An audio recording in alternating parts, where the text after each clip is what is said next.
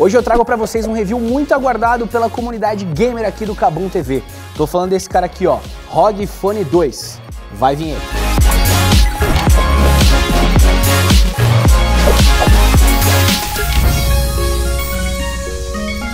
É isso mesmo, senhoras e senhores. Trago para vocês aqui, ó, ROG Phone 2 que além de lindo está muito poderoso. E se você não está ligado, eu vou fazer uma introdução aqui. Essa sigla, ROG, significa Republic of Gamers, que é uma divisão da ASUS que lançava placas-mãe ou placas de vídeo especiais para o público gamer. E aí eles viram que a galera que gosta de jogar, quer jogar em qualquer lugar, de qualquer jeito, viram que tinha essa demanda e aí lançaram o ROG Phone 1, que era o celular voltado para esse público gamer. E agora estão com o ROG Phone 2. Além de lindo, assim, cara, eu gostei muito do design, da pegada dele, né? É, mas o que tem dentro é o que me chamou mais atenção. Ele vem equipado com o Snapdragon 855, que é simplesmente o processador mais rápido, é 855 Plus na verdade, que é o processador mais rápido que existe. O 855 está equipando aí todos os smartphones top de linha, né? Ele é um chip muito poderoso feito pela Qualcomm e esse é o primeiro smartphone, o primeiro gadget do mundo equipado com o 855 Plus, que para vocês terem uma noção, ele chega num clock de até 2.96 GHz. Isso para garantir realmente o melhor desempenho. O modelo normal, o 855, que não é o Plus, ele tem uns 200 MHz a menos do que isso. Aí você pode estar pensando que isso é pouco, mas isso é o que faz a diferença. Ele consegue ser 30% mais rápido do que o modelo 855, que já é muito poderoso. Inclusive, vale um comentário sobre isso. Qual que é o grande problema de você jogar num device que não foi planejado para isso? O grande problema é uma coisa chamada throttling, que é quando você exige muito do processador ou da GPU, né, da placa gráfica, que vai processar os gráficos dos seus jogos favoritos, e aí chega uma hora que ele esquenta tanto, você que já jogou no smartphone comum, tá ligado? A traseira dele começa a esquentar e aí por uma medida de segurança, né, de autoproteção, ele abaixa o clock do processador para ele poder resfriar, ele não usa tudo que ele pode entregar. E é claro que isso afeta no seu desempenho. Então, pensando nisso, os engenheiros da ASUS ó, desenvolveram toda uma arquitetura que ajude a dissipação desse calor. Então, dentro desse smartphone já tem uma placa que ajuda a dissipar todo o calor. Ele tem uma entrada de ar aqui, ó, uma saída de ar quente, na verdade, né, para poder expulsar esse ar quente que está lá dentro e garantir que você tenha a melhor experiência sem o famigerado throttling, que é o que a gente quer evitar, porque ele vai derrubar o desempenho do seu gameplay. E aí, pensando até numa experiência melhor do que essa, a, a Asus colocou aqui, ó, dentro dessa caixa, que inclusive eu achei muito, muito legal, que vem em algumas versões do ROG Phone, que é esse cara aqui, ó, que é um air cooler, cara. Pensa nisso. Olha que coisa sensacional, um air cooler. E como que funciona, ó? Ele é um telefone normal, na é verdade. Ele é tipo aquele carro esporte, é, é, tipo aquele carro sedã que tem um modo esporte, né? Então ele tem aquele modo confortável, mas se você liga o modo envenenado, ele corre mais. É exatamente esse telefone. Ele tem um modo aqui que é o modo X. Eu vou ligar para vocês darem uma olhada aqui, ó, o que, que vai acontecer na parte de trás aqui do, do telefone. Então, ó, liguei o modo X. É legal porque até o wallpaper muda, ele fica vermelho, ele fica tipo, mano, vamos aí, vamos jogar. Atrás ele acende aqui os LEDs. E aí, quando você for jogar de fato, ele tem aqui no meio do aparelho uma conexão que é totalmente pensada para isso, para você justamente plugar aqui o seu air cooler, igual eu estou fazendo.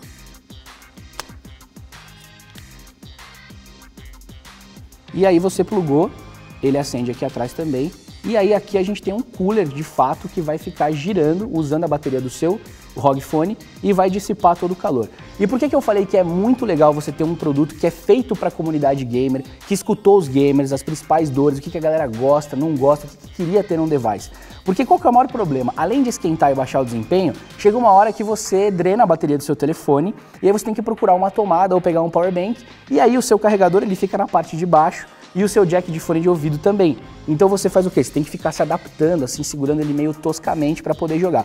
O legal é que com esse com esse air cooler, ó, aqui na parte de baixo, ele habilita um carregador USB-C e um jack para fone de ouvido, ou seja, você, você continua conseguindo segurar ele aqui perfeitamente para jogar e ainda pode colocar um power bank para carregar ou o seu fone de ouvido aqui e vai garantir a melhor experiência gamer mesmo quando você estiver precisando de uma carguinha.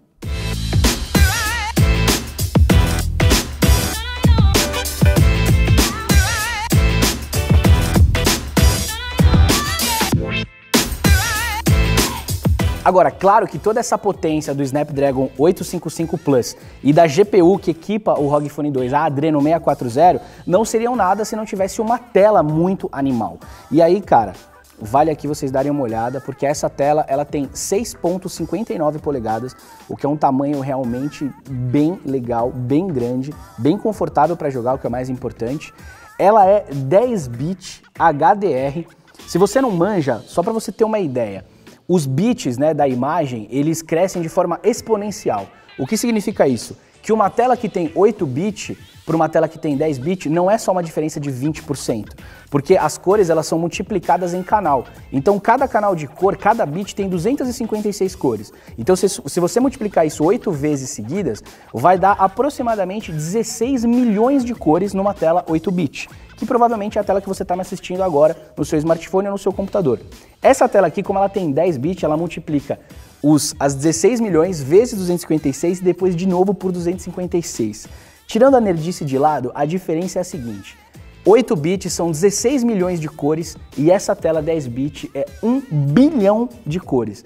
Então dá para você ter uma noção da diferença de quanto você enxerga de qualidade, de profundidade de cores. E por ela ser HDR, você tem realmente é, é, as nuances entre as baixas luzes, onde é escuro a imagem e onde é claro, você tem todo um degradê maravilhoso. Eu estava jogando Call of Duty aqui e quando você vê é, é, o pôr do sol, telas onde tem ambientes externos, é maravilhoso você conseguir enxergar todas as gradações de cor sem perder nenhuma informação.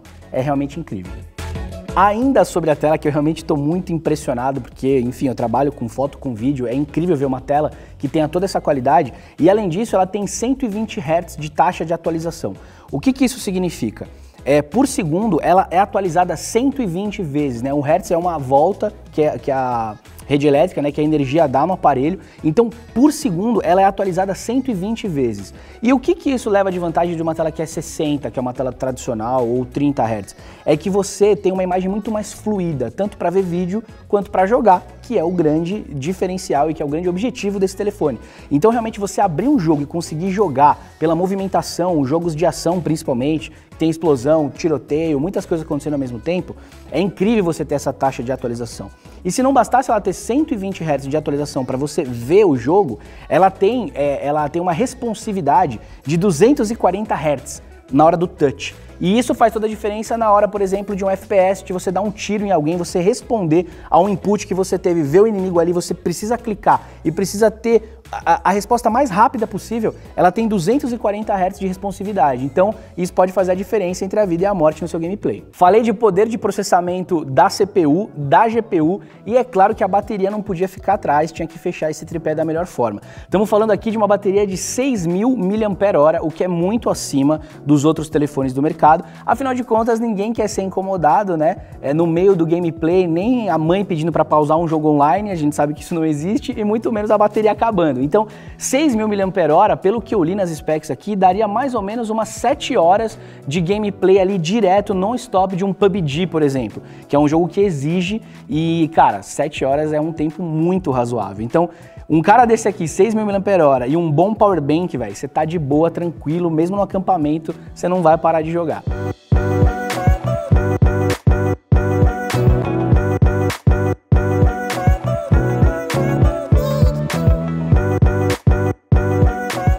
Ainda sobre a bateria, uma coisa que vale a gente pontuar é que ele vem com a tecnologia Quick Charge 4.0, que é aquela tecnologia de carregamento rápido. Então essa tecnologia faz com que quando você precisar recarregar o seu aparelho, colocou ele na tomada, usou o carregador que vem junto, o cabo de 3 amperes USB-C e deixou mais ou menos uma hora carregando, ele vai carregar mais da metade, quase 70% do seu aparelho em uma hora. Precisou carregar para sair rapidinho, para rua, para um show, para uma viagem, ele vai carregar e vai deixar você com nível satisfatório de bateria até acabar o dia. Agora eu vou falar um pouco sobre as câmeras que tem aqui. Na parte de trás aqui, ó, eu acho um recorte bem bonito esse design aqui, totalmente integrado ao aparelho. Ele tem câmera de 48 megapixels e uma 13 que é uma auxiliar, que é uma ultra wide, então para você fotografar paisagem, para você retratar realmente coisas, monumentos ou coisas muito grandes, onde você precise é, enquadrar muita coisa ao mesmo tempo, você vai usar essa câmera auxiliar. E aqui na frente ele tem uma câmera para selfie, que também é muito legal, vai garantir a selfie que você precisa, ou mesmo vídeo se você quiser vlogar, gravar alguma coisa, ou mesmo deixar gravando um gameplay quando você estiver no desktop, ele vai entregar uma tecnologia muito boa, até porque está escrito aqui, ó, que ele tem a, aquela tecnologia Quad Buyer, é um sensor da Sony muito poderoso, é o mesmo sensor que equipa os principais smartphones aí, inclusive voltados para fotografia. Então essa qualidade, esse Quad Buyer, não vou entrar aqui é, na, nas minúcias dessa tecnologia, mas ela é uma tecnologia que ao captar é, o red, green, blue, né, que são as cores para poder fazer a, a sua foto, o vermelho, o verde e o azul, ele tem uma tecnologia inteligente que detecta se você está num ambiente com baixa luz ou com luz satisfatória. Ele faz um mosaico, ele se reorganiza ali usando inteligência artificial para realmente fazer a melhor foto na situação de luz que você tenha. Então, se você está numa baixa luz, está no ambiente mais escuro, ele vai dar um jeito ali de renderizar essas fotos, de fazer um processamento é, é, artificial usando o software para entregar melhor qualidade. E se você estiver num lugar onde realmente tem uma luz bacana, aí ele vai brilhar e vai fazer fotos com muita nitidez, entregando até 48 megapixels. Então, vale também o registro que a câmera dele é muito poderosa.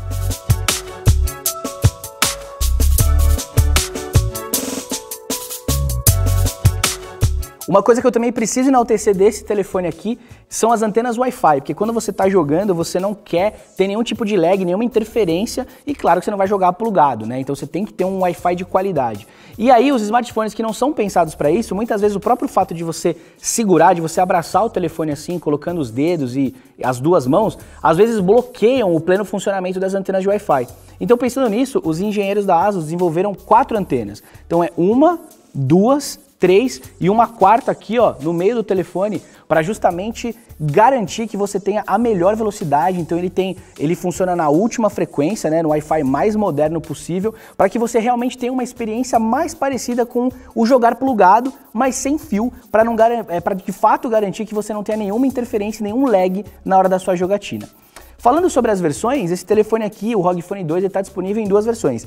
Essa que eu testei é a de 8 GB de memória RAM e 128 GB de armazenamento, que eu acho que é suficiente, porque ainda mais hoje em dia que a gente usa muita coisa na nuvem, né? Música, streaming, vídeo é streaming também, enfim. Lembrando que ele também tem dual SIM, né? Dois chips. Então você pode combinar dois chips da mesma operadora, de operadoras diferentes, inclusive combinar se eles vão se somar, se você prefere da operadora no, no SIM card 1 ou 2, enfim. Isso também acho que é um diferencial, porque quem gosta de jogar, e a ideia dele é que você jogue onde você estiver, na rua, no busão, no metrô, viajando, onde você estiver, é legal porque você, mesmo jogando online, você vai estar conectado através do Dual SIM. Agora é contigo, e aí, gostou do ROG Phone 2? Comenta aqui embaixo o que você achou. Aproveita para se inscrever no canal se ainda não é inscrito, ativar o sininho para a gente avisar sempre que sair vídeo novo e fica ligado que tem muito conteúdo fresquinho aqui no Cabum TV. A gente se vê no próximo vídeo. Até lá!